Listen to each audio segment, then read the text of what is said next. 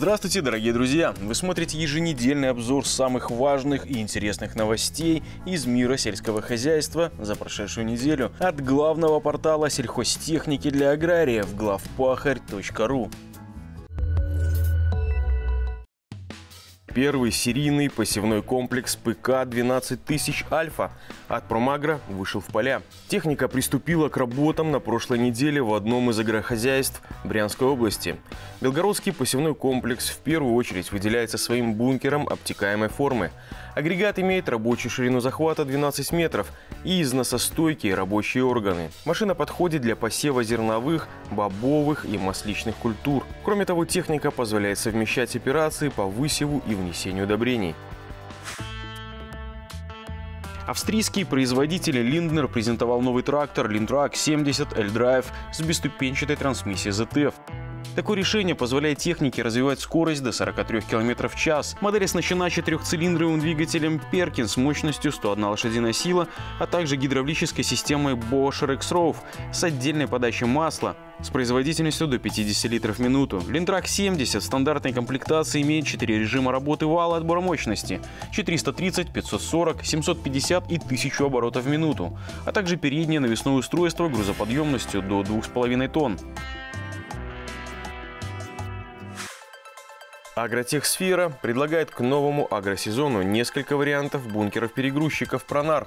Дилер сельхозтехники из Псковской области имеет в продуктовом портфеле сразу две модели, которые можно использовать при транспортировке зерновых культур и кукурузы, получения грузов от комбайнов и перегрузки их в грузовики, а также загрузки посевного материала в сеялке. Это бункер-перегрузчик «Пронар T743» с шасси на подвеске типа «Тандем» на параболических рессорах с активной системой поворота. Эффективность разгрузки от 200 до 400 тонн в час, а также грузоподъемностью 22,7 тонн и грузовместимостью 34 кубических метра, а также бункер-перегрузчик T740. Модель имеет схожее название, но характеризуется грузоподъемностью в 15,3 тонны и грузовместимостью 28 кубических метров. Обе серии прицепного оборудования есть в наличии на складах компании Агротехсфера. Эксперты смогут подобрать вариант машины, который подойдет именно вам.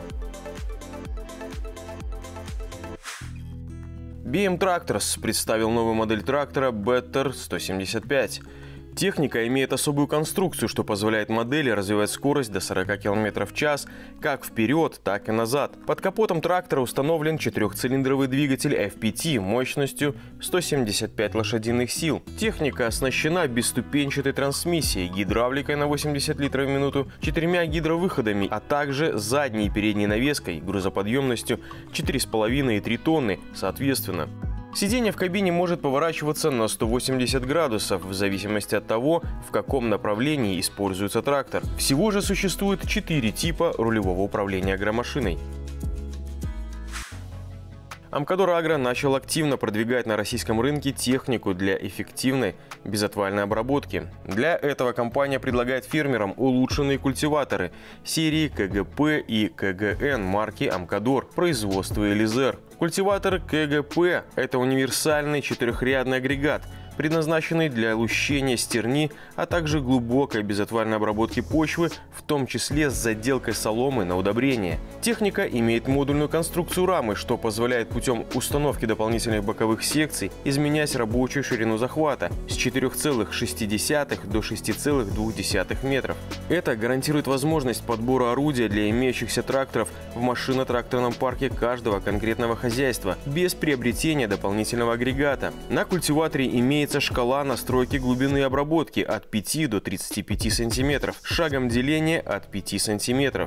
КГП оснащены многофункциональными стрельчатыми лапами шириной 350 мм, которые при необходимости можно демонтировать и работать только долотами шириной 80 мм. Кроме того, компания предлагает культиваторы КГН для безотвальной технологии в навесном исполнении. Они аналогичны по исполнению с полуприцепными моделями, но имеют рабочую ширину захвата 3 и 3,5 метра и агрегатируются с тракторами мощностью 120 и 150 лошадиных сил. Кстати, подробнее о характеристиках техники, а также в целом о достоинствах безотвальной технологии можно прочитать в нашем большом материале на портале Главпахарь. Ссылка в описании. С Гарибольди представил первый серийный смеситель кормов Коала 2,5 карт. Техника имеет бункер на 2,5 кубических метра.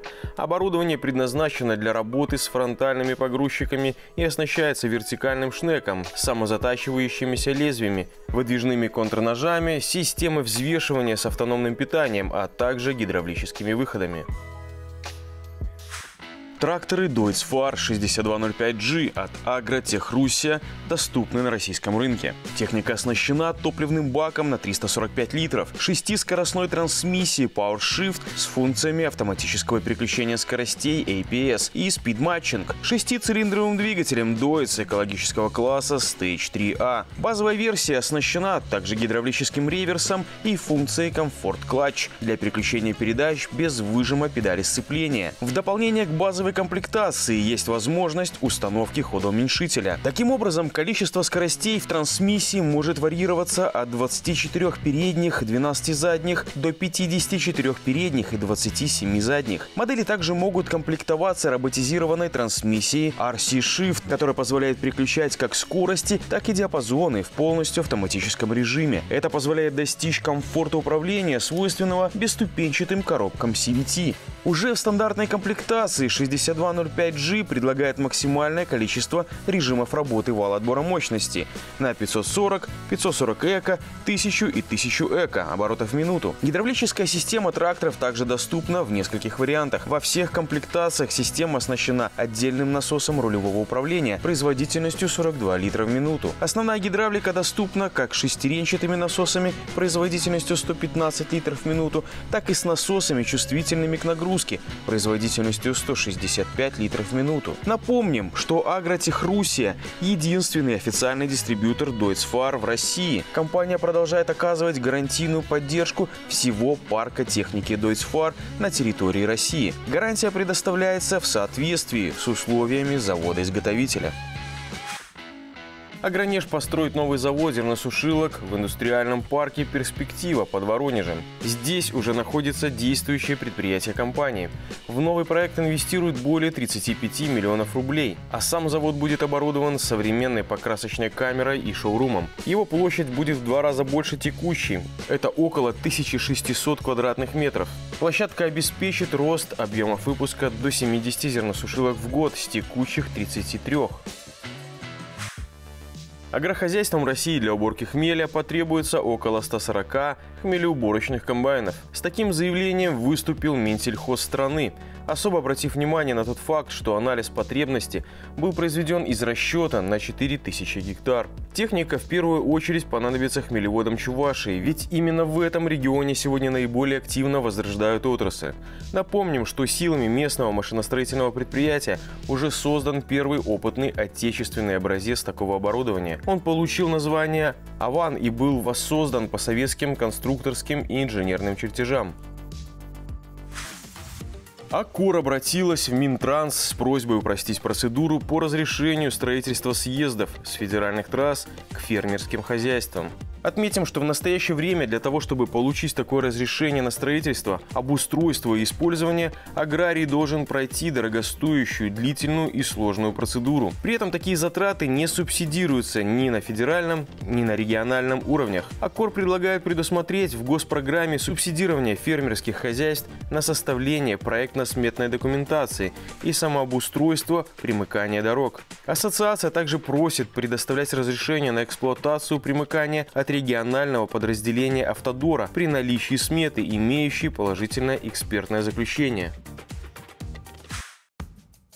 Асход назвал 10 лучших дилеров сельхозтехники России по выручке в 2023 году.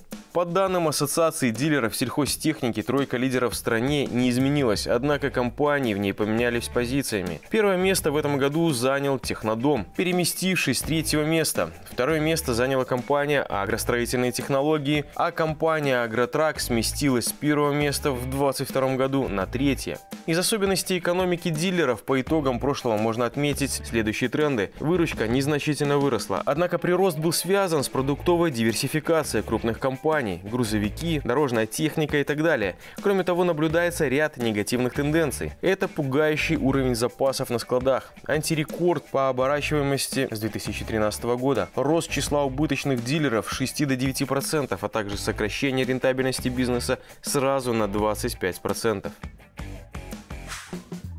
Эконива Техника запустила собственное производство запчастей и технических жидкостей для сельхозтехники. Продукция будет реализовываться под новым брендом «Агрознак». Компания будет выпускать порядка 2500 артикулов. Главная цель – получить аналоги импортным деталям и компонентам, доступ к которым в настоящее время затруднен. Синэч Industrial продал свое бизнес-подразделение по выпуску плугов под шведским брендом Overum. Новым владельцем станет немецкая корпорация Faircap. Компания получит не только все права на торговую марку, но и активы завода плугов в Швеции. Напомним, что Overum был приобретен группой CNH Industrial и его дочерним брендом New Holland еще в октябре 2016 года. Тогда же были выкуплены бренды Kongskilld и JF. Пока CNH Industrial какой-то бизнес продает, Amazon таковой скупает. Немецкий производитель сельхозтехники приобрел бразильского разработчика разбрасывателей минудобрений AMP Agro. Поглощение бренда, как ожидается, позволит более активно развиваться на рынке сельхозтехники в Южной Америке. В Amazon уже отметили, что существующий штат сотрудников Agro останется неизменным, а технику по-прежнему будут выпускать из материалов с высокой коррозийной стойкостью на основном заводе группы в Луис-Павао в Бразилии. И Телма начала серийное производство устойчивых санкциям автопилотов для сельхозтехники. Напомним, что презентация этого продукта впервые прошла на Югагра 2023. Теперь оборудование стали официально выпускать на московском производственном заводе «Телма». До конца текущего года планируется выпустить 4000 комплектов в электрическом и гидравлическом исполнении, готовых к установке на различные виды тракторов, опрыскивателей и комбайнов. Установка такого автопилота позволяет увеличить производительность сельхозработ на 25%. Автопилот самостоятельно управляет техникой, поддерживает заданный курс и обеспечивает ее стабильное поведение на неровных участках поля. Российские агрохолдинги продолжают изучать преимущества применения агродронов на полях. Так, отечественный агротехдрон типа «Витол» был запущен агрохолдингом «Лазаревская» совместно с университетом «Иннополис». Самолет вертикального взлета и посадки, предназначенный для задач мониторинга полей, разрабатывался с учетом технического задания для реального предприятия с возможностью интеграции в его экосистему. Задача разработки аппарата связана с пятилетним планом цифровой трансформации агрохолдинга «Лазаревская» и, в частности, одним из его его направлении и развития геоскаутинга. Дальность полета такого дрона составляет не менее 300 километров. Снаряженный вес до 30 килограмм. У БПЛА есть лидар, мультиспектральная камера, а также ручное управление автопилот для работы по заданному маршруту. В агрохолдинге отмечают, что потенциальный рост урожайности возделываемых культур составит от 5 до 25% процентов за счет обследования полей, машинным зрением и внедрением элементов точного земледелия. При этом агрохолдинг за счет дрона сможет сэкономить до 50 52 миллионов рублей в год. VHI Power представила в Китае дизельный двигатель с тепловой эффективностью в 53,9%. Она показывает коэффициент полезного действия двигателя, а сам показатель отражает количество энергии, выделяемой при сгорании топлива, которое превращается в полезную работу. Разработку презентовали на Всемирном конгрессе по ДВС 2024 в Тяньзине. Это уже четвертый рекорд к ряду, установленный китайской компанией. Начиная с 2020 года Вещай Power уже показывала дизели с КПД 50,23, 51,9 и 52,28.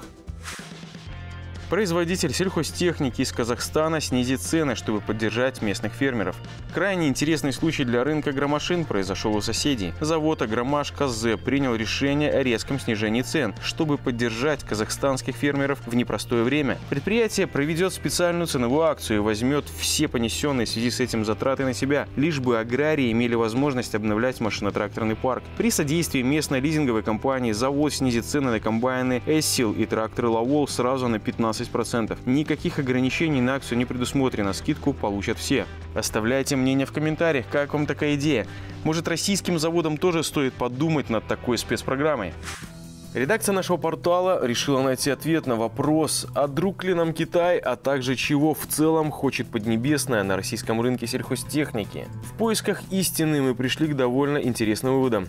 О том, как работать с китайскими агромашинами, о менталитете и сервисе, а также о преимуществах и недостатках китайской сельхозтехники. Частный разговор о настоящем и будущем с экспертом Дмитрием Гудулиным. Ссылка на материал в описании.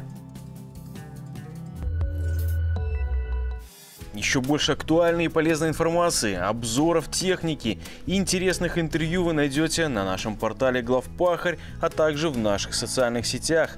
Подписывайтесь, оставляйте комментарии, задавайте вопросы. Увидимся на следующей неделе.